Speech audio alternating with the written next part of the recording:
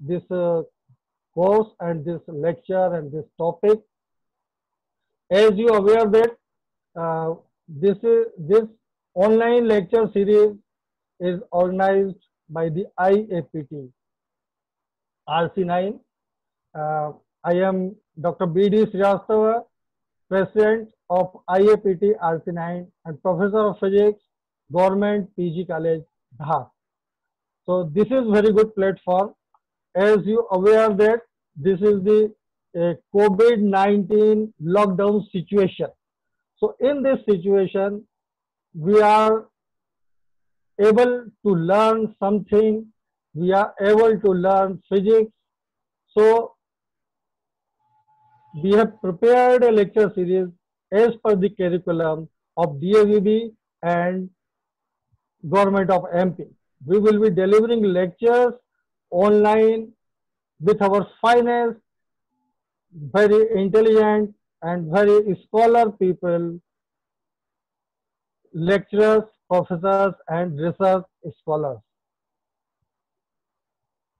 The lecture session will be taken as you know on the, this uh, Zoom platform and the all necessary information will be given to you through you, your email addresses and this is also available in our website and YouTube platform.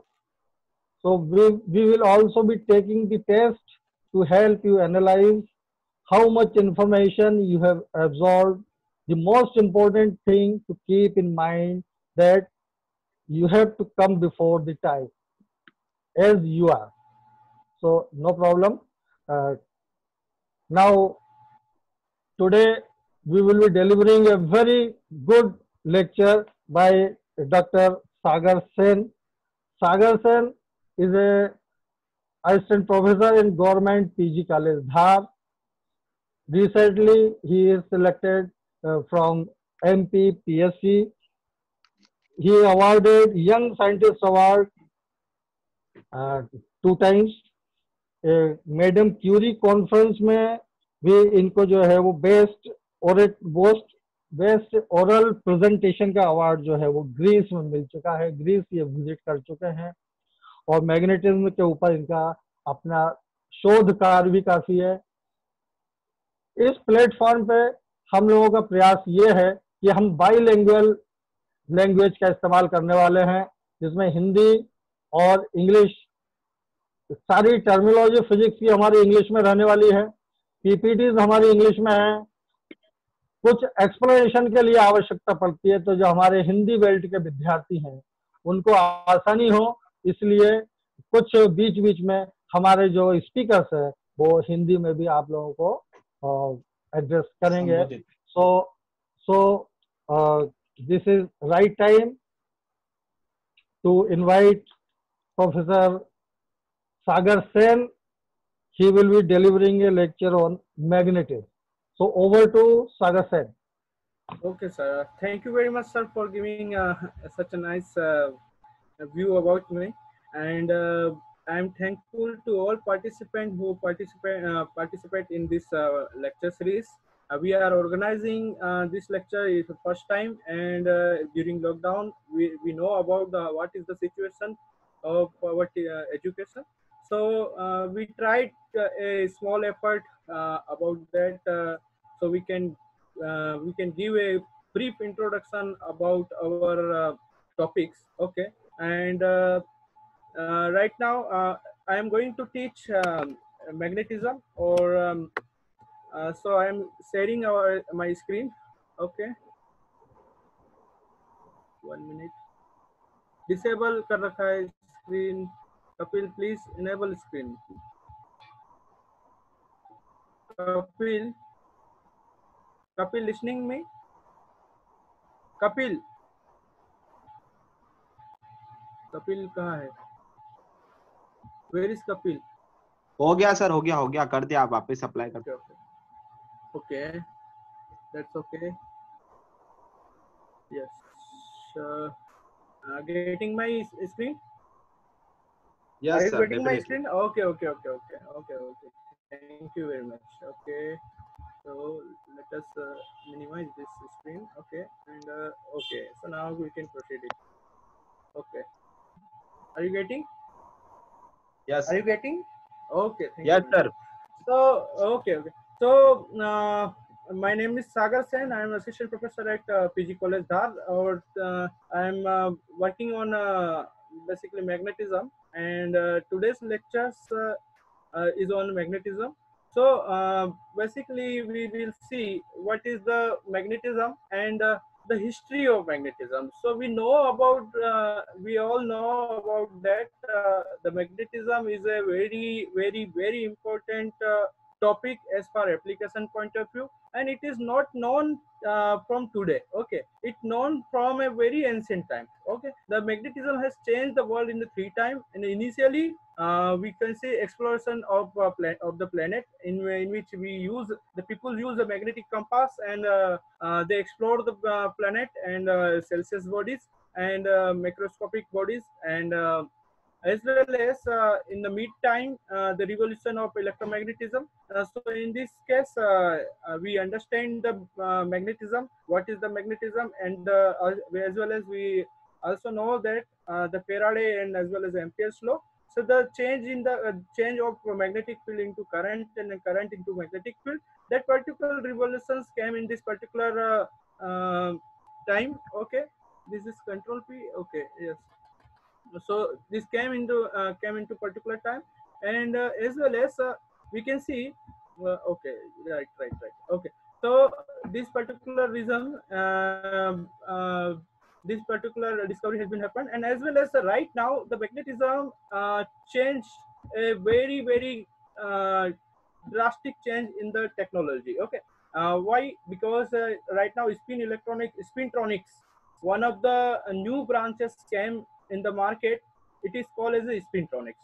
Why? Because uh, spintronics is uh, similar to the electronics where electrons are responsible uh, for a current okay? Uh, similarly spins are also used for a uh, current and uh, the spin and the, the technology is dependent on the spins okay?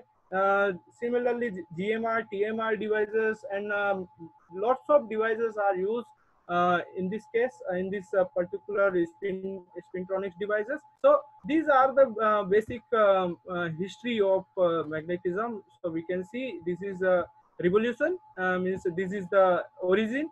Okay this is the mid session where Faraday and Ampere and uh, lots of scientists came and uh, using that we understand the, how what is the magnetism. And after all uh, in this in this particular um, uh, situation. Uh, we are using magnetism for information technology okay? In case of uh, that that particular spintronics is used in uh, data storage devices like hard disk devices uh, compact disk devices cd and uh, rom ram and other things also. Okay so this is basic history of um, so, ma- magnetism okay?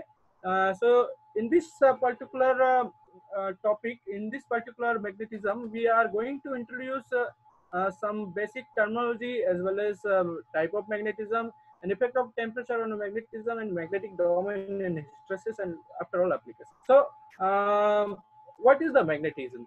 Okay so magnetism is produced by the charge in motion means uh, whenever electric charge in the motion that will produce the magnetic field okay and this uh, uh, we can say example in the form of uh, current flowing in a conductor. If, I, if we are taking the uh, conductor and the current will be uh, will flow in the uh, conductor and then what happened um, we will find the magnetic field around that okay? By using max by using left and right hand rules okay? And another thing is orbital motion means atomic origin okay?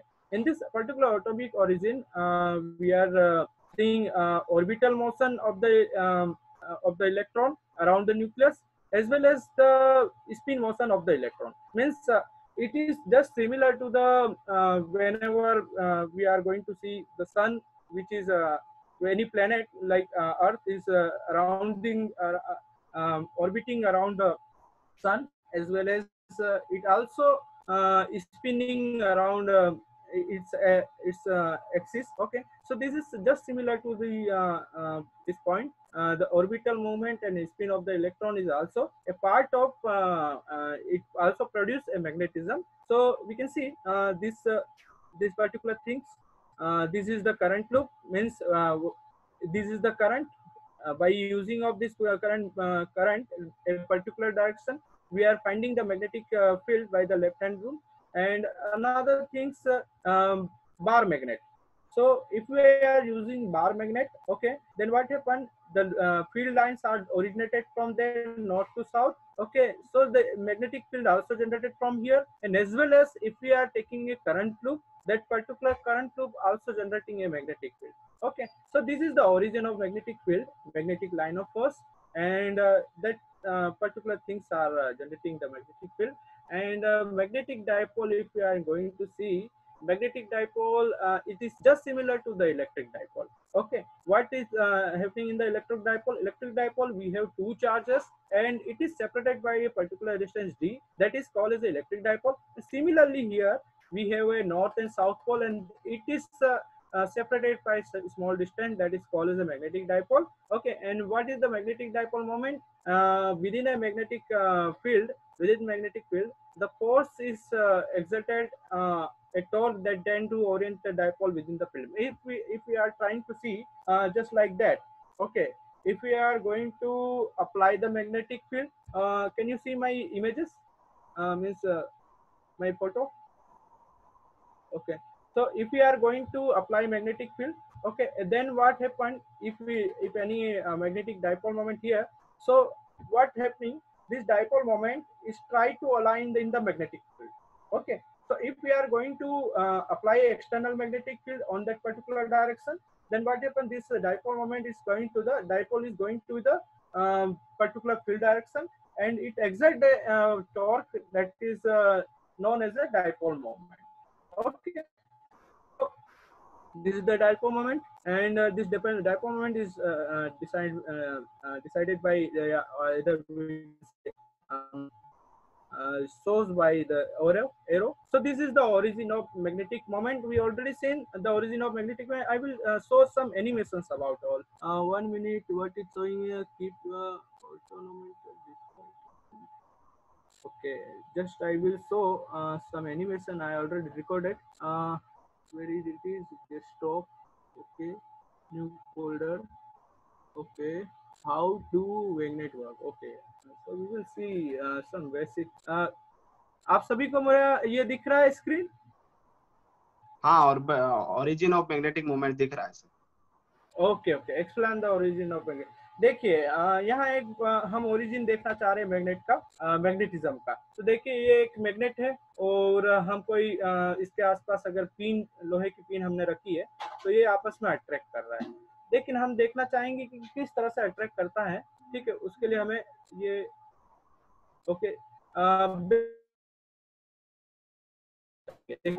तो हम यहाँ देखते हैं, ये एक magnet है, इसमें ये एक एटम है जिसमें इलेक्ट्रॉन जो है वो न्यूक्लियस के चारों तरफ़ घूम रहा है, ठीक है? ऑर्बिट मोशन कर रहा है। ये इलेक्ट्रॉन अपने एक्सिस पे भी जो है वो मूव करता है, ठीक है? एक्सिस पे भी रोटेशन कर रहा है, देख लीजिए। और न्यूक्लियस भी रोटेशन करता है, ठीक है? अपने एक्सिस पे। तो ये इलेक्ट्रॉन ऑर्बिटल मोशन तो कर ही रहा है। तो ऑर्बिटल मोशन की वजह से क्या होगा? जब भी कोई चार्ज मोशन करता है तो वो क्या जनरेट करता है? करंट ठीक? ये करंट आप देख सकते हैं। और ये अगर एक एम्पियर लूप में है नॉर्मल सर्कुलर लूप में है तो यहाँ पर क्या है? राइट हैंड रूल हम लगाएँगे।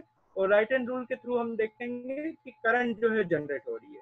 और उससे magnetic field sorry current loop में जो है मैग्नेटिक फ़ील्ड जनरेट हो रही है। तो ऑर्बिटल मोशन से मैग्नेटिक फ़ील्ड जनरेट हुई, अपने एक्सिस पे इलेक्ट्रॉन अगर एक्सिस पे मोशन करता है, तब भी मैग्नेटिक फ़ील्ड जनरेट होगी। और न्यूक्लियस से भी जो है मैग्नेटिक फ़ील्ड जो है जनरेट हो रहा है। तो टोटल मिला के तीनों तरह से मैग्नेटिक फ़ील्ड जनरेट हो रहा है।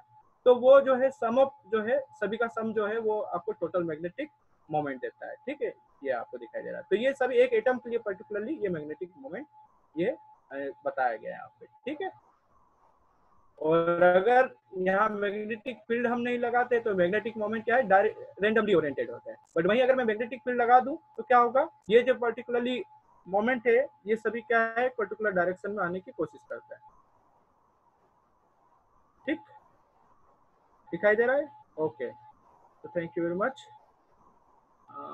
where is PPT okay okay आपको समझ में आया ये चीज़?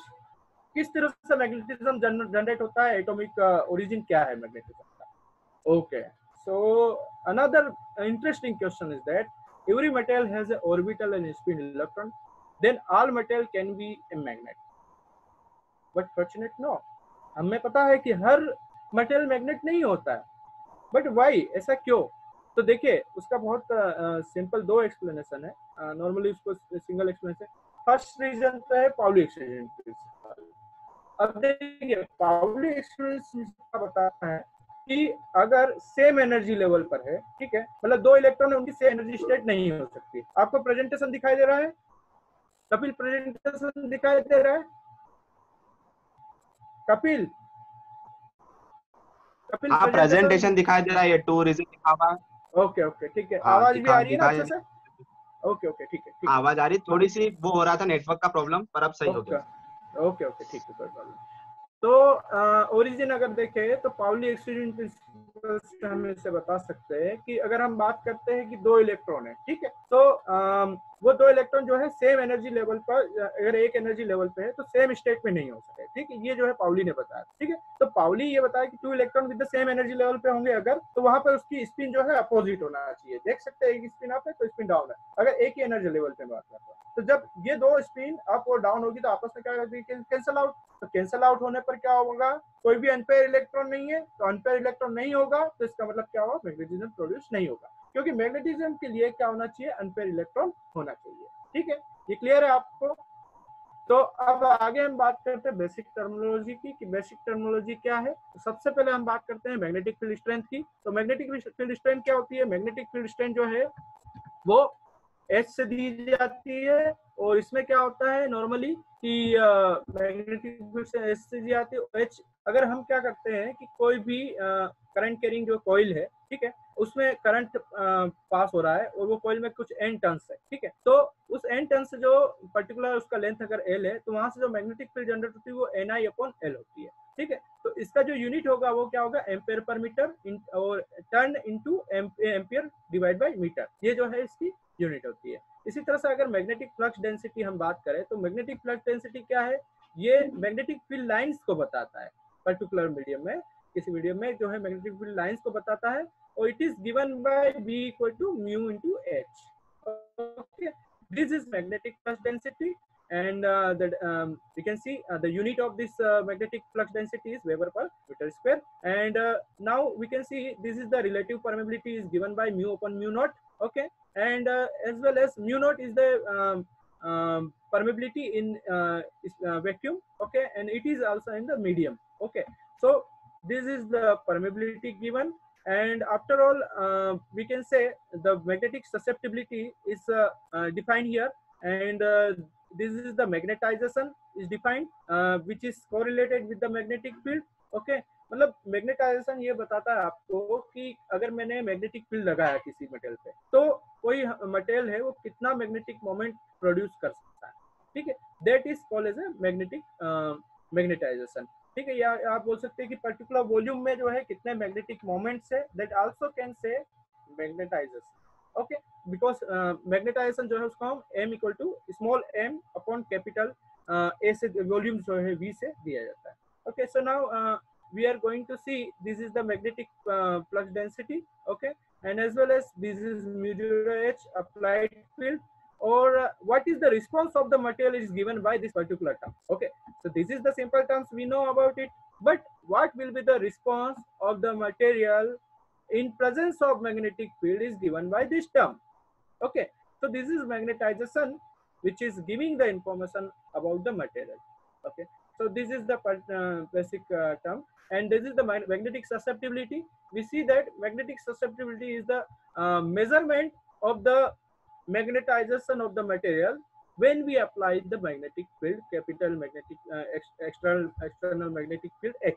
So this is the susceptibility is given by chi equal to m by h when we are going to apply the magnetic field and uh, what will do the uh, how much the magnetization produced in the material that is given by the susceptibility so susceptibility is uh, normally name is the uh, we can say the name susceptibility. Ability means ability to magnetize the material when we apply the external magnetic field that is given by the susceptibility and that is uh, particularly dependent by the permeability by the chi m equal to mu naught sorry mu chi m equal to mu naught r minus 1 this is the uh, susceptibility is given by the um, permeability.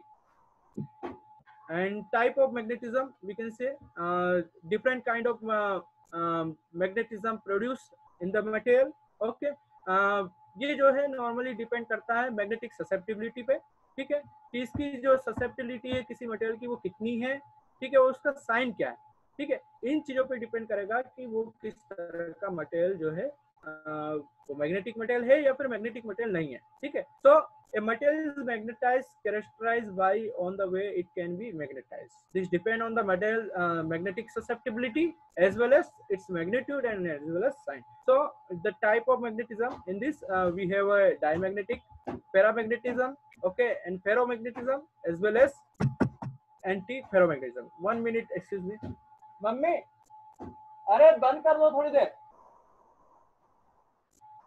Okay. Sorry for uh, disturbance. Okay.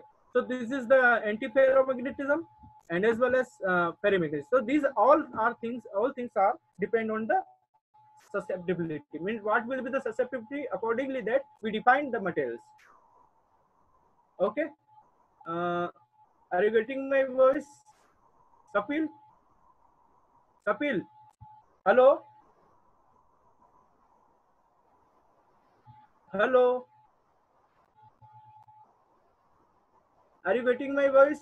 Please give me in the uh, direction on the chat. Okay okay. Thank you very much. Okay okay.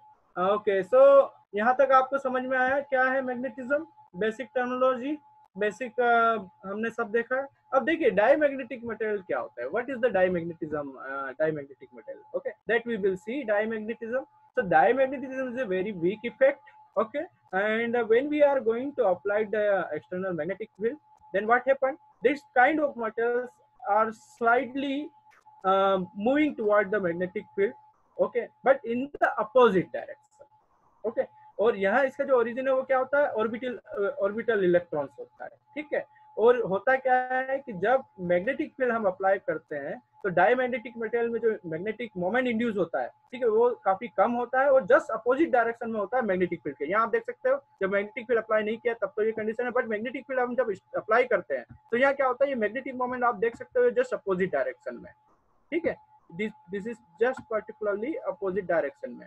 तो जब magnetic field हम apply कर रहे हैं इस direction में, और magnetic moment किस डायरेक्शन में मूव हो रहे जस्ट अपोजिट डायरेक्शन तो ये एक वीक मैग्नेटिक फ़ील्ड जो है मोमेंट जो है उसको इंड्यूस करते हैं, ठीक है? और नेगेटिव इस वजह से इसकी ससेप्टिबिलिटी क्या होती है? नेगेटिव होती है, ठीक है? और माइनस टेन टू और माइनस फाइव ऑर्डर में है काफ़ी स्मॉल ससेप्टिबिलिटी है ओके और ये बेसिकली किस चीज़ को फॉलो करता है? लेंज लो को फॉलो करता है। कैसे लेंज लो को?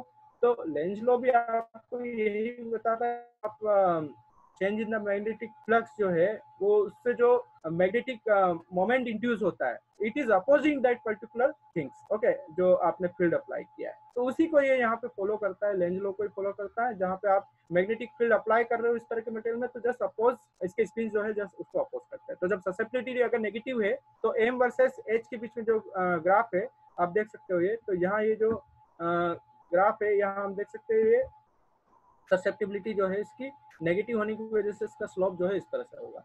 क्योंकि m equal to minus H हो जाएगा तो m by H equal to minus one होगा तो यहाँ पर हम देख सकते हैं इसका स्लोप नेगेटिव है। और वहीं अगर हम बात करते हैं टेम्परेचर के साथ में इसकी ससेप्टिबिलिटी का कोई भी जो है रिलेशन नहीं है, ठीक है? तो इस वजह से ससेप्टिबिलिटी टेम्परेचर के साथ में बदलती नहीं है इस तरह के मटेरियल्स की।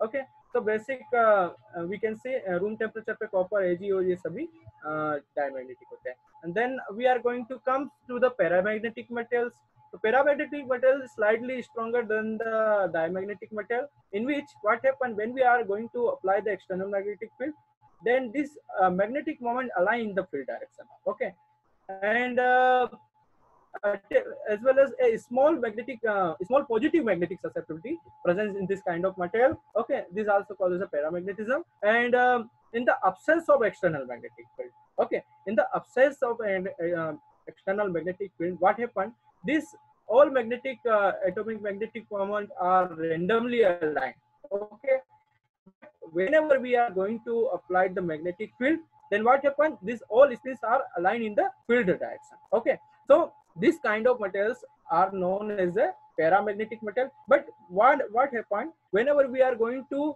remove the magnetic field, then what happens? This all spins are randomly aligned. Okay, so this particular uh, phenomena is not a permanent magnetism occur in this particular magne uh, uh, magnetic materials. What happens when we are going to apply the magnetic field, all spins are aligned in the particular direction. But whenever we are remove the magnetic field, then what happens? This all our magnetic magnetic moments are randomly aligned. But here, what thing? Uh, what one thing is uh, dependence? It is temperature dependence. Means whenever we are going to see this is the temperature dependent study um, whenever uh, the temperature is applied this kind of material then what happens due to thermal agitation uh, of this particular magnetic dipole moment with all uh, other dipole moments then what happens the temperature increase then these are thermal uh, thermally disturbed. Uh, this magnetic moment thermally disturbed. And then what happens the susceptibility is going to be going to be uh, decreased. Okay. So this is uh, susceptibility we can say uh, here we can see this is the susceptibility versus temperature. And this is inversely proportional to the temperature. Means whenever we are going to increase the temperature then what happens the ability to of magnetization of the material is going to be decreased. Okay. Uh, uh, so this is uh, susceptibility. It it has a slightly positive susceptibility as well as a very small susceptibility. This is a positive susceptibility, so the slope uh, positive and direction and susceptibility positive. So this is the paramagnetic material. Okay, so we are going to the ferromagnetic material. Ferromagnetic materials are uh, very uh, different from dia and paramagnetic material. Uh, it uh, consists a strong magnetization in the material. Okay, but what happening in this kind of materials? Uh, certain metal poses magnetic moment even absence of an external magnetic field. Means if we are going to uh, not apply any external magnetic field of this material then what happen? Uh, they are uh, they are still possess some uh, magnetic moment okay? And this result a permanent unpaired dipole moment form from the unfriend uh, energy level. And this kind of materials um, compose a very strong magnetic field when we are going to the um, strong magnetic moment uh, aligned in the field direction. And uh, this kind of materials uh, uh we have a very high susceptibility. Okay. So uh, the example iron cobalt and nickel they possess a very high susceptibility. Or we can see these all our spins are aligned okay in the field directions. Okay.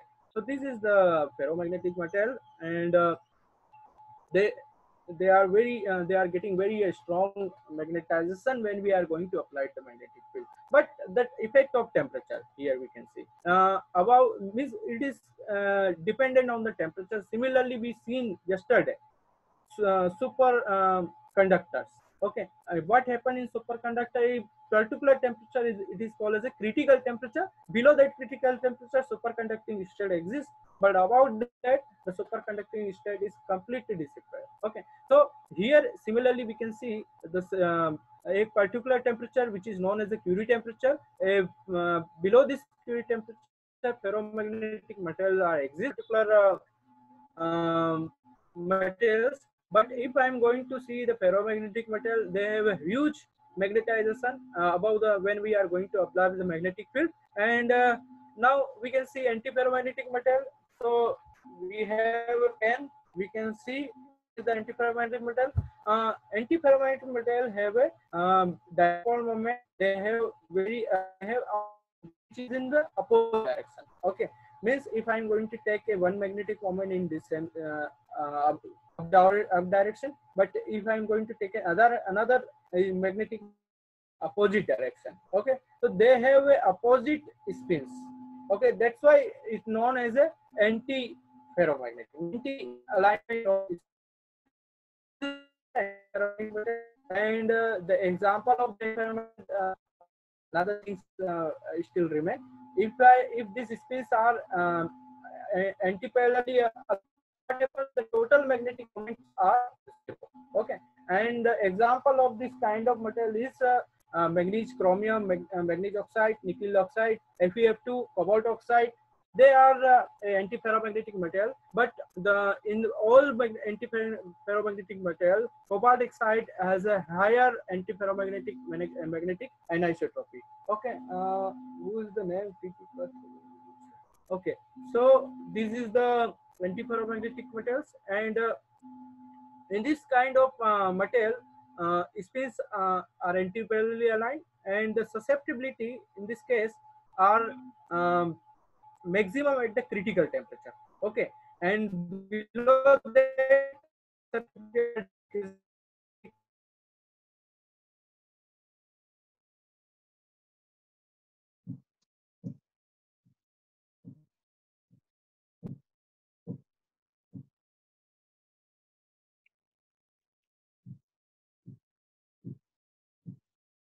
hello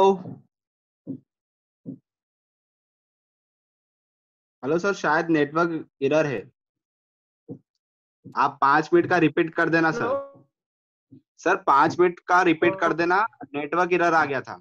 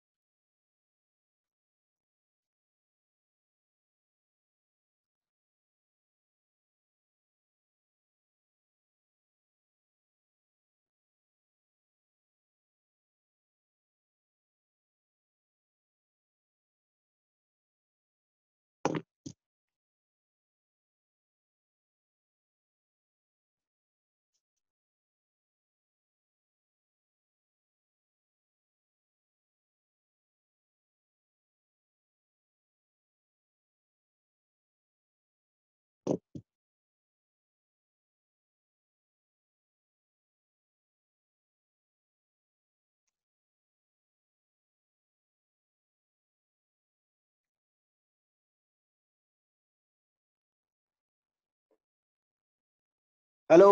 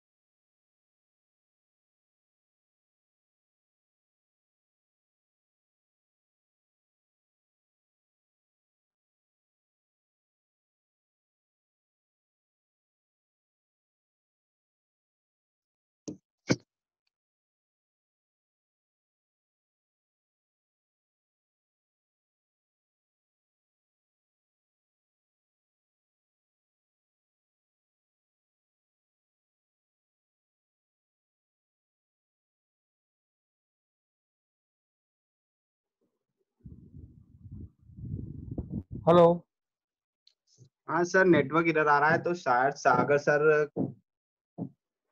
अब मे- नहीं अब मेरे को तो आवाज़ तुम्हारी बराबर आ रही है बहुत देर से। पर सर सागर सर की आवाज़ नहीं आ रही है। सागर से कहाँ चले गए? सागर सर के इसमें नेटवर्क एरर है शायद।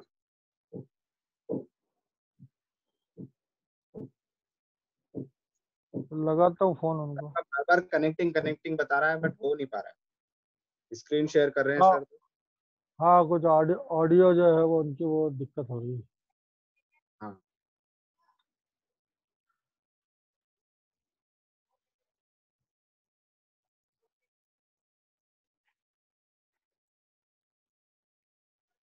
समाप्त करे क्या सर? हाँ समाप्त कर दो इसको फिर साढ़े या वो पाँच सात मिनट देख लो है ना? तो क्या है कि साढ़े ग्यारह से अपनी नेक्स्ट वो अपने करना पड़ेगा ना तो उसकी भी तैयारी करना पड़ेगा। हाँ। सर आप कुछ बोल देते इस बारे में मैग्नेटिज्म के बारे में थोड़ा बहुत। आ रही आवाज़ आ रही आवाज़ सर क्या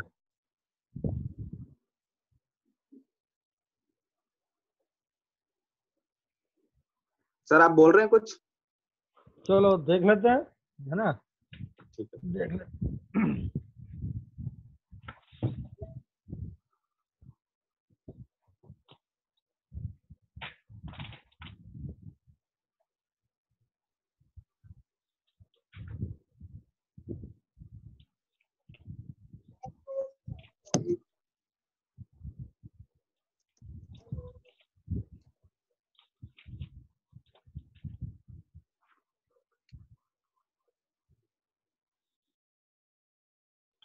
सागर सर आप अनम्यूट है बोलो। ओके सही है?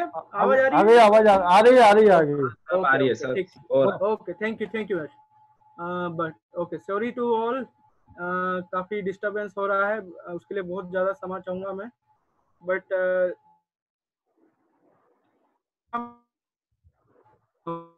सागर सर कंक्लूड करें दस मिनट में है ना? ग्यारह पाँच हो रहा हाँ ठीक।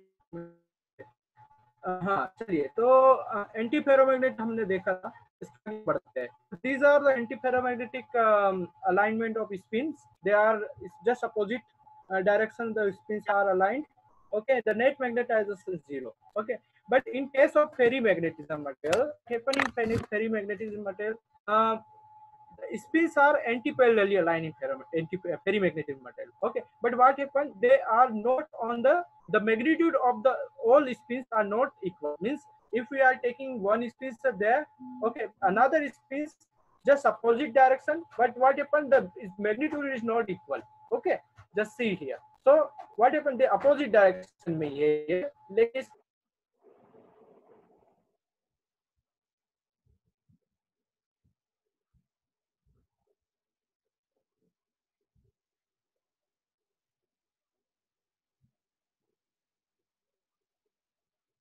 सागर सर आवाज़ नहीं आ रही। Hello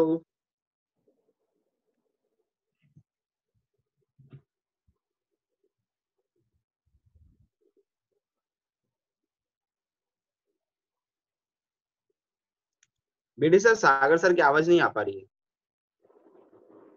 यार मेरी तो आ रही है कि नहीं आ रही? आपकी आ रही है सर बट बीडी सर की वो सागर सर की नहीं आ पा रही।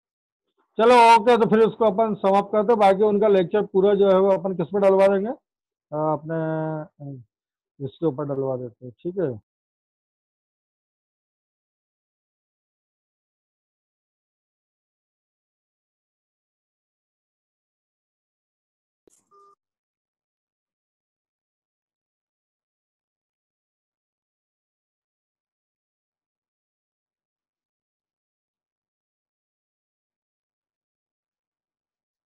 हाँ बीडी सर बोलो।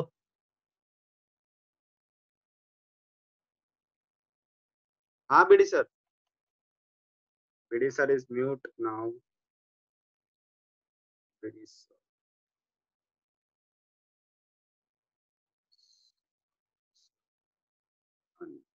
आवाज़ आ रही है नहीं आ रही? हाँ सर आपकी आ रही है। सागर सर भी ऑनलाइन है। तो उनकी आवाज़ नहीं आ रही क्या? आ रही है? क्या आवाज़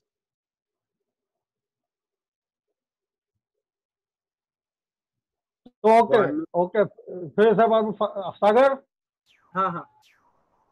तो बोलो भैया दस मिनट में करो। हाँ हाँ हाँ हाँ करता हूँ। आवाज़ आ रही है मेरी? आ रही है। पहले बोला है ना वो थोड़ा सा रिपीट कर दें पहले थोड़ा इशू हो गया था तो। हाँ हाँ ठीक है। अब देखिए फेरी मैग्नेटिज्म की बात करते हैं। अब थोड़ा जल्दी से फॉरवर्ड अप करते हैं इससे ठीक है? फेरी मैग्नेटिज्म की बात करते हैं तो फेरी मैग्नेटिज्म जो है इसमें स्पिन जो है वो एंटी पैरेलली अलाइन होते हैं। बट इनका जो मैग्नीट्यूड होता है, वो हमने क्या देखा कि वो इक्वल नहीं होता है। तो जब मैग्नीट्यूड इक्वल नहीं होगा तो इसका मतलब क्या होगा कि कुछ ना कुछ मैग्नेटाइजेशन उसमें ज़रूर रहेगा, ठीक है?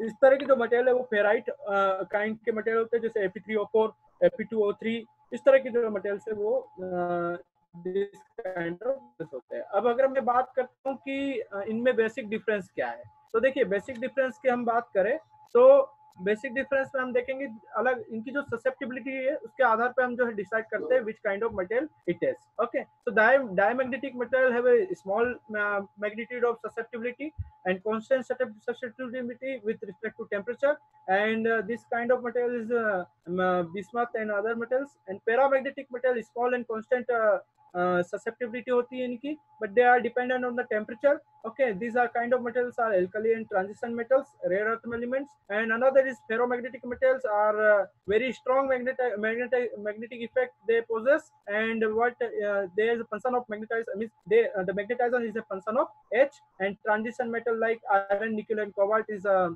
example of this particular metals. And antiferromagnetic is have a just opposite uh, magnetic moment uh, uh, and as well as the example is magnetic MNO and FeF2 and cobalt oxide and ferrimagnetic material has a large susceptibility and as well as uh, function of H. They are functioning of H and ferrite is a basic example of this. What is the effect of temperature? So we are now summarize uh, all the materials in uh, one graph. Okay. The what what is the effect of temperature here? So we can see in the ferromagnetic material what happened uh, this is a Curie temperature okay? And above this Curie temperature what happens this uh, ferromagnetic materials is converted into paramagnetic material okay? Just we can see this is the paramagnetic material. Just similar behavior we can see in case of after all Curie temperature. This is the Curie temperature. Above this Curie temperature that what happened? This uh, paramagnetic material in change into uh, paramagnetic material. And paramagnetic material is temperature dependent which is chi equal to c by t. And this is Uh, just uh, decaying uh, graph we can see for a paramagnetic material uh, and we can say that uh, in paramagnetic metal with increasing the temperature what happens the magnetization is getting lost. And this is the nil temperature means this is the antiferromagnetism okay what happened in antiferromagnetism and we can see this is the nil temperature okay and that particular nil temperature below this this is the antiferromagnetism occur. But above this this what happens this is the paramagnetic materials um, uh, it converts into paramagnetism. Okay so in this uh, we can say uh, it this is the uh, means at zero kelvin we can say uh, temperature is quite low. Then what happens this all spins are anti-parallelly aligned. So the magnetic moment is going to be zero total magnetic moment zero. But whenever increase the temperature then what happens we can say this uh, this is the anti-parallel alignment. This is at zero kelvin but whenever temperature increase when what happens they, they are slightly disturbed. Okay then they slightly disturbed that um, it's meaning that they have some magnetic moment because they are not right now they are not anti-parallelly aligned. They have some disturbance then what happens this some magnetic moment arise. Then what happens these are magnetic moments are maybe in the same direction so magnetization is uh, quite high. It is quite high at uh, nil temperature. And what happened? Above the nil temperature they are randomly aligned. That is known as a paramagnetic material. Okay? So this is basic uh, mechanism of paramagnetic material uh, sorry uh, material. And about tc we know that the magnetization is uh, completely lost because thermal energy is taking a part in the picture. Okay uh, so uh, in ferromagnetic material magnetic domains are exist. Okay. So before that i am going to show you as a animation. Okay. Just wait. I'm going to see another animations for a ferromagnetic metal okay. Are you getting? No animation is no animation is visible. Okay just wait again now i think it can be. Huh? अब दिख पा रहा है? Yes. दिख पा रहा है। Okay thank you very much तो ये तो देखिए नॉर्मली आयरन की हम बात करेंगे तो आयरन में क्या होता है कि इसका जो कॉन्फ़िगरेशन इलेक्ट्रॉन है वो थ्री जो है आउटर सेल्स में इलेक्ट्रॉन्स होते हैं। मतलब अगर हम बात करें तो ये जो चार इलेक्ट्रॉन है ये अनपेड इलेक्ट्रॉन्स है। ठीक है? These are unpaired electrons uh, that is responsible for magnetization. Okay? But if I am comparing that कि एल्यूमिनियम भी सर वो भी मेटल है उसमें भी अनपेयर इलेक्ट्रॉन है बट वो मैग्नेटिज्म क्यों शो नहीं करता है? This is basic question we can we know about तो देखिए एल्यूमिनियम जो है उसमें uh, उसका साइज़ इलेक्ट्रॉन कॉन्फिगरेशन बारह होता है जहाँ तक है। तो उसके जो one S two two S two two P six ग्यारह होता है ऐसा कुछ होता है। तो उसमें जो इलेक्ट्रॉन्स है आउटर सेल्स में शायद वन या टू ही होता है। वन होता है जहाँ तक। वहाँ पर अगर हम अनपेयर इलेक्ट्रॉन की संख्या देखेंगे तो एक ही है। लेकिन यहाँ पे चार अनपेयर इलेक्ट्रॉन है, ठीक है? ये हम देख सकते हैं चार अनपेयर इलेक्ट्रॉन है। तो इस वजह से जो है मैग्नेटाइजेशन प्रोड्यूस करता है।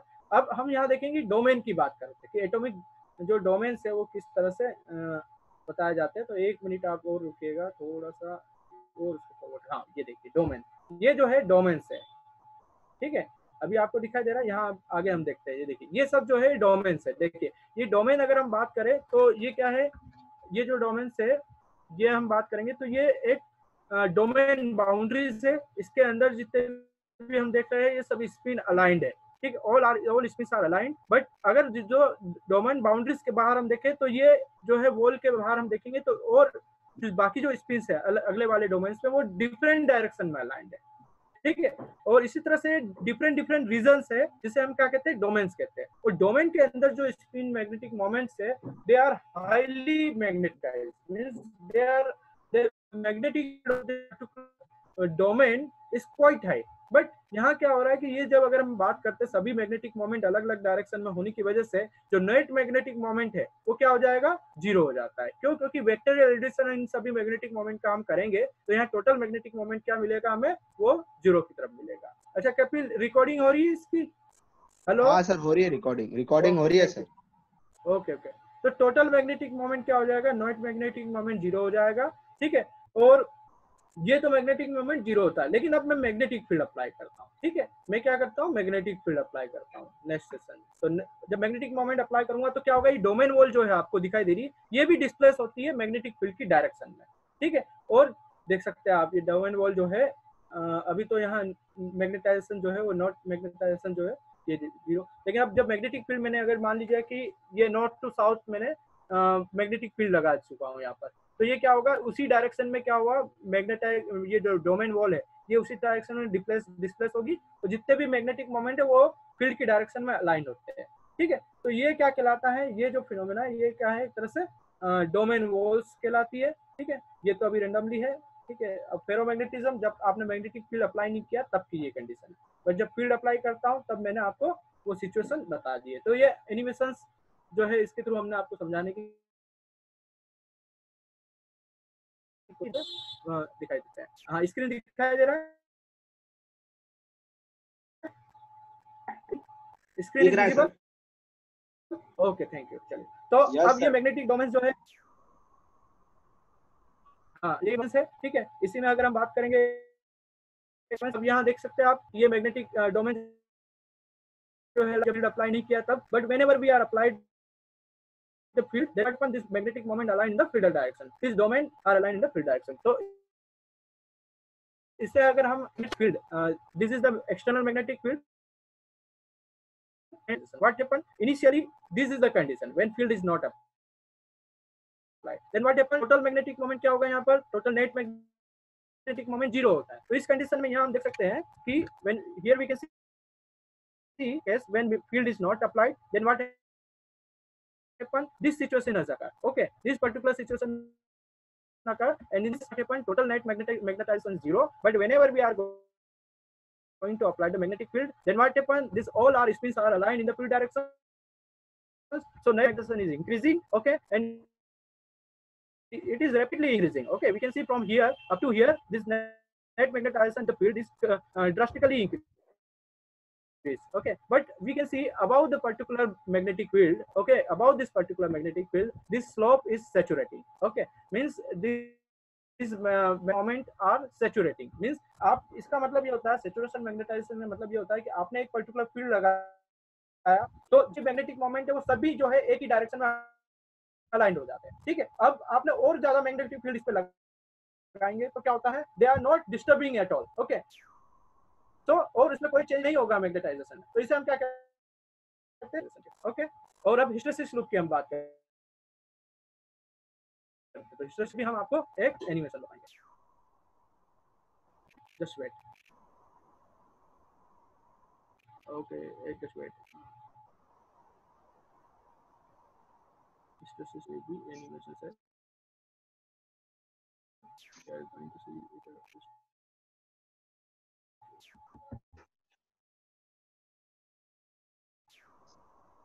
दिख पा रहा है? हाँ सर उसको थोड़ा विंडो को थोड़ा बड़ा कर दे। Maximum okay.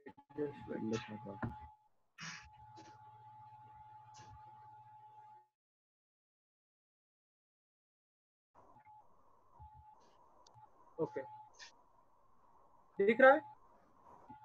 हाँ दिख रहा है सर।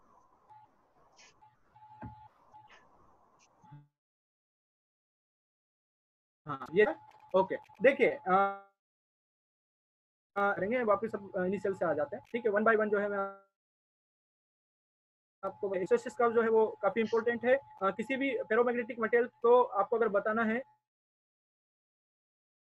कि ये फेरोमैग्नेटिक मटेरियल है नहीं है तो वो हम किससे बताते हैं? हिस्टेसिस लुक से बताते हैं। अब देखिए फ़र्स्ट कंडीशन हम देखते हैं ये वाली कंडीशन ठीक है? जिसमें क्या हो रहा है कि मैग्नेटिक फ़ील्ड जैसे जैसे अप्लाई कर रहे हैं हम तो यहाँ क्या हो रहा है? मैग्नेटाइजेशन इंक्रीज हो रहा है। मतलब बी जो है वो इंक्रीज हो रहा है ठीक? तो ये वाला जो कर्व है, इसको हमने ए बी बोल दिया हमने, ठीक? ये ए बी है, ठीक है? उसके बाद में हमने क्या किया? वापस रिवर्स डायरेक्शन में मैग्नेटिक फ़ील्ड लगा रहे हैं, ठीक है? ये बी से वापस सी पर जो हमने रिवर्स डायरेक्शन में यहाँ पर मैग्नेटिक फ़ील्ड बी से सी पर लगाया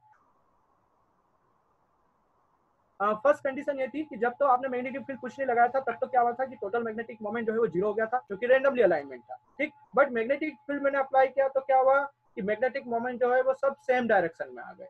ठीक है? और मैग्नेटिक फ़ील्ड में लगाऊँगा यहाँ पर तो क्या होगा? यहाँ पर सेचुरेशन हो जाएगा। ठीक है? It will get saturation saturate but wherever we are going to reduce the magnetic field to zero अब मैं ज़ीरो की तरफ़ मैग्नेटिक फ़ील्ड लेके आता हूँ बट क्या होगा? यहाँ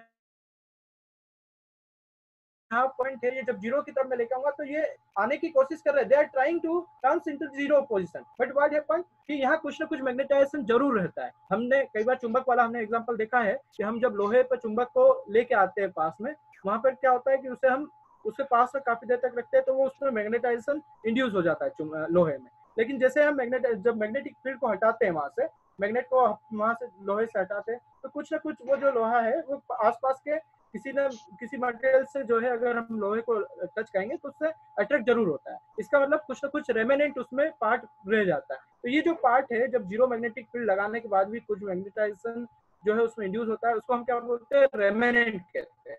क्या कहते हैं?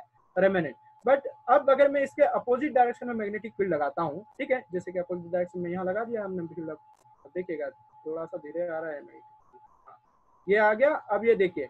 ये अपोजिट डायरेक्शन कौन सा? जस्ट माइनस एच डायरेक्शन में देखो तो यहाँ मैग्नेटाइजेशन क्या हो जाता है? ज़ीरो हो जाता है। तो दिस सोज दैट कि एक रिवर्स मैग्नेटिक फ़ील्ड आप लगा रहे हो तो यहाँ मैग्नेटाइजेशन ज़ीरो हो रहा है। ओके बट उसके बाद जस्ट अपोजिट डायरेक्शन फिर आप जाएँगे। सिमिलरली कंडीशन जो यहाँ पे थी, वो उसी तरह की कंडीशन आपको वापस मिलेगी। तो ये जो है कंप्लीट हिस्टेसिस लूप जो है फ़ील्ड के साथ में मैग्नेटाइजेशन का वेरिएशन यहाँ दिखाई देता है। दिस इज़ एनिमेशन ओके और just coming back to PPT okay ये क्या हुआ? कहलाते हैं सॉफ्ट मैग्नेटिक जो है कि आप आसानी से उस तरह के मटेरियल्स को जो है आसानी से मैग्नेटाइज कर सकते हो। और वापस अगर उसको डीमैग्नेटाइज करना तो वो भी आसानी से होता है। तो इस तरह के जो मटेरियल उनकी पोरोसिटी काफ़ी कम होती है। आप देख सकते हो ये सॉफ्ट मैग्नेटिक मटेरियल तो इस तरह के मटेरियल जहाँ पर बहुत आसानी से मैग्नेटाइजेशन को ऑन और ऑफ़ करना है, वहाँ पर उस तरह के मटेरियल्स के लिए स्विचिंग डिवाइस में सॉफ्ट मैग्नेटिक मटेरियल यूज़ होते हैं। इलेक्ट्रोमैग्नेट इलेक्ट्रिक मोटर और इस तरह के मटेरियल्स में इसका यूज़ किया जाता है, ठीक है? बेसिक जो प्योर आयरन होता है, वो भी सॉफ्ट मैग्नेटिक मटेरियल होता है। सिलिकॉन आयरन आयरन होता है, ये भी प्योर सॉफ्ट मैग्नेटिक मटेरियल होते हैं। हार्ड मैग्नेट क्या होते हैं? जिनको बहुत टफ होता है मैग्नेटाइज करना, ठीक है? और इस तरह के जो मटेरियल्स है, वो क्या होता है हाई रेमिनेंट होता है और हाई कोरोसिटी होती है उसमें। दे, है ना इसलिए जो normally permanent magnetic permanent magnet बनाने के लिए जो हार्ड मैग्नेट का यूज़ करते हैं, जहाँ पे आपको कोरोसिटी जो है, वो काफ़ी ज़्यादा ज़रूरत पड़ेगी। देखिए कोरोसिटी हमने ऑलरेडी देखा है, क्या होता है reverse magnetic field is applied to magnetize zero अगर किसी भी मटेरियल को मैग्नेटाइज करने के लिए काफ़ी ज़्यादा फ़ील्ड लगाना पड़ेगा तो वो क्या कहलाता है हार्ड मैग्नेट कहलाता है। ठीक है? और इसको जो है हम नॉर्मली ऑटोमोबाइल पावर और ये फ़ोन और अदर बहुत सारी चीज़ों में यूज़ करते हैं। तो जो है ये एग्जांपल है इसमें एक तरह ओके हाँ बोलिए। हाँ बोलिए। हेलो हाँ सर वो सेकंड सेशन का टाइम हो चुका है तो बस होने वाला हाँ। होने वाला है। जस्ट जस्ट पाँच से दस मिनट ओके अब मैग्नेटिक देखिए, अब ये रिसर्च रिसर्च का कुछ टॉपिक है मैग्नेटिक एनाइसोट्रॉपिक ओके एक्चुअली मैंने काम मैग्नेटिक मटेरियल्स पे किया है तो इसके बारे में मैं थोड़ा आपको बताना चाहूँगा। देखिए मैग्नेटिक एनाइसोट्रॉपिक क्या होती है? डायरेक्शन डिपेंडेंट मैग्नेटिक प्रॉपर्टी मतलब अगर कोई क्रिस्टलो कोई, अगर हम मैग्नेटिक क्रिस्टल लेते हैं, जैसे आयरन का कोई क्रिस्टल लेते हैं, ठीक है? उस आयरन के क्रिस्टल की कुछ डायरेक्शन होगी, ठीक है? तो जो उसके ओरिएंटेशन होगा, ठीक है? उस पर जब मैग्नेटिक प्रॉपर्टी डिपेंड करने लग जाए तो उसे हम क्या बोलते हैं? Magnetic anisotropy. ऑलरेडी आपने क्रिस्टल में भी देखा होगा एनाइसोट्रोपिक क्या होता है? एनाइसोट्रोपिक का मतलब होता है कि डायरेक्शन डिपेंडेंट प्रॉपर्टीज़ मतलब अगर डिफरेंट डिफरेंट डायरेक्शन में डिफरेंट डिफरेंट प्रॉपर्टीज़ होना, वो क्या कहलाता है? एनाइसोट्रोपिक कहलाता है। तो मैग्नेटिक एनाइसोट्रोपिक का मतलब ये होता है कि पर्टिकुलर क्रिस्टोग्राफिक ओरिएंटेशन में मैग्नेटिक प्रॉपर्टीज़ जो है होनी मैग्नेटिक प्रॉपर्टी होनी या मैग्नेटिक बिहेवियर होना। यहाँ आप देख सकते हो कि एपी थ्री का एग्ज़ाम्पल देखते हैं। जैसे डिफरेंट डिफरेंट डायरेक्शन में डिफरेंट मैग्नेटिक प्रॉपर्टी मतलब या तो हार्ड हो सकता है मैग्नेटिक मटेरियल या सॉफ्ट हो सकता है। तो जहाँ सॉफ्ट होगा, वो इजी डायरेक्शन होती है, या हार्ड डायरेक्शन होती है मतलब हार्ड मैग्नेटिक मटेरियल होगा। तो यहाँ आप देख सकते हैं कि वन वन वन जो है वो इजी डायरेक्शन है इस मैग्नेटाइट की एपी थ्री ओ फोर की, और one zero zero hard magnetic material होता है। एक और चीज़ है एक्सचेंज वायर जिसपे मैं काम करता हूँ। ठीक है एक्सचेंज वायर जो है जब फेरोमैग्नेटिक मटेरियल को आप एंटी फेरोमैग्नेटिक मटेरियल के साथ में अटैच करते हैं तो क्या होता है? एंटी फेरोमैग्नेटिक नील टेम्परेचर से नीचे आना पड़ेगा। तो ये जो हिस्टोसिस लूप अभी तक तो हमने देखा कि सिमेट्रिक होता है बट यहाँ हम देख सकते हैं कि ये हिस्टोसिस लूप जो है, ये क्या हो रहा है? यहाँ पर जो हिस्टोसिस लूप है शिफ्ट हो जाता है फ़ील्ड एक्सिस से। ठीक है? तो ये जो फिनोमिना है, ये क्या है?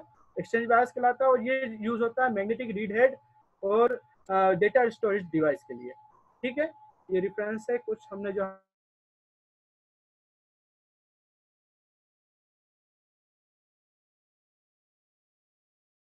questions from uh, chat box just wait screen sharing uh, हम स्टॉप करते हैं okay where chat box okay okay okay okay हाँ ये मैं देख रहा हूँ दस doubt okay also will BH curve ठीक है uh, कुछ the dipole are in one direction okay देखिए डाइपोल जो है वो एक ही डायरेक्शन में क्यों अलाइन होते हैं क्योंकि देखिए कोई भी मटेरियल है वो अपने मिनिमम एनर्जी स्टेट में रहना चाहेगा, ठीक है? उसकी मिनिमम एनर्जी स्टेट जो है वो आपकी अलाइंड होता है, तब जो है मिनिमम एनर्जी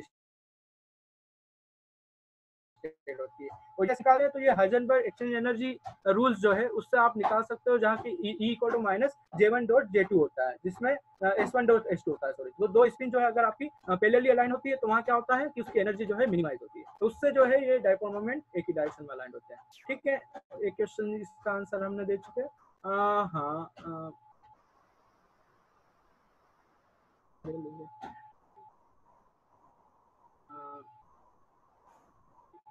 जी, आप वेबिनार में अटेंड कर सकते हैं सभी में, लेकिन हमारे पास लिमिटेड सिचुएशन है हंड्रेड पार्टिसिपेट है बट आपको लिंक ज़रूर मिलेगी, हर लेक्चर की लिंक जो है आपको ज़रूर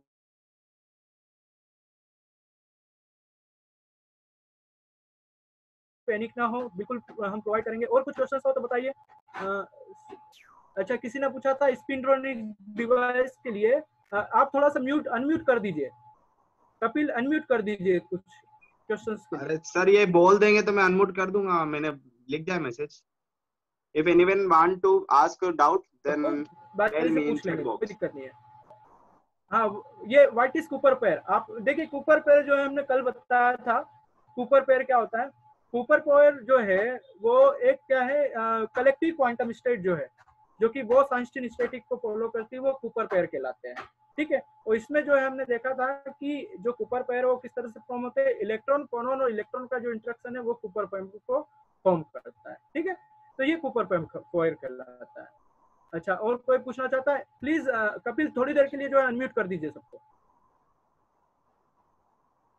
फेराइट फेराइट जो है फेराइट हिस्टोसिस लूप को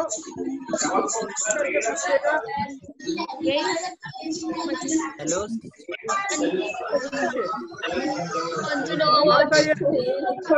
नहीं हाँ डोमेन जो है हमने बताया आपको डोमेन क्या है। एक छोटे छोटे रीजन होते हैं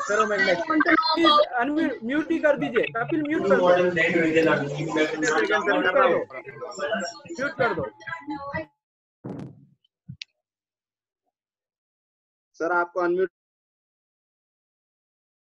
कर हाँ व्हाट इज़ स्पिनट्रॉनिक्स ये एक क्वेश्चन पूछा है अच्छा किसी ने। एक मिनट थोड़ा सा uh, एक minute what is spintronics which type of research is going on in India as well as what what is scope in spintronics? Good question very good question. देखिए spintronics जो है जैसे इलेक्ट्रॉनिक्स होती है वो क्या है? इलेक्ट्रॉन के मूवमेंट की वजह से जो करंट फ्लो होता है वो इलेक्ट्रॉनिक्स होती है। ठीक है उसी तरह से स्पिन की जो मोशन है उसकी वजह से जो हम एक तरह से करंट फ्लो जो होती है वो स्पिनट्रॉनिक्स होती है।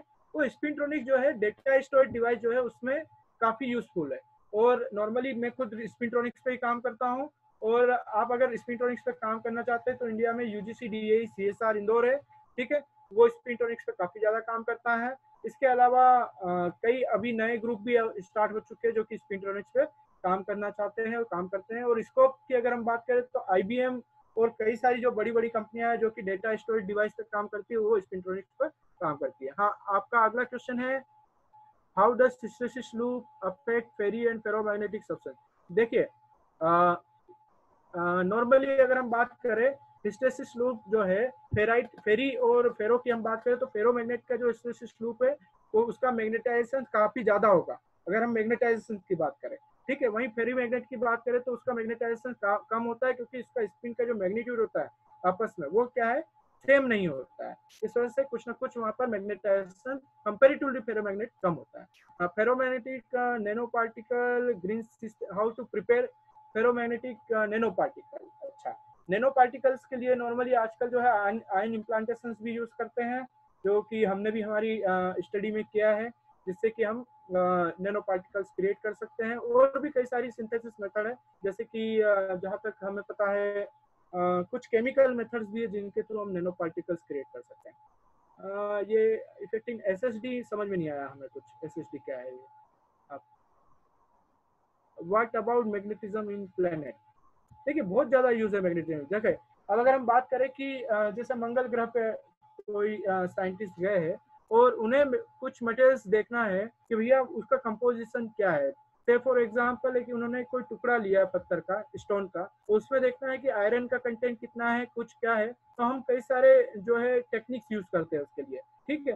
जिस तरह की आप देख सकते हो मोजबोर इफ़ेक्ट जो है मोजबोर इफ़ेक्ट क्या है, वो मैग्नेटिक मोमेंट को सेंस करता है।